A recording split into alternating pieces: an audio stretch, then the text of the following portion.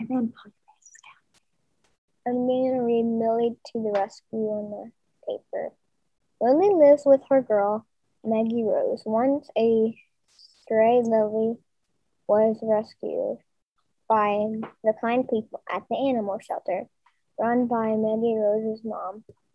Now she has a very important purpose to rescue other animals in trouble. Lily meets a crow with a broken wing, so she and Maggie Rose take the crow home to mom. But when the crow starts to become too tame, some um, unexpected problems arise. It's Lily to the rescue. My teacher, Mrs. Clark, really likes the author of this book.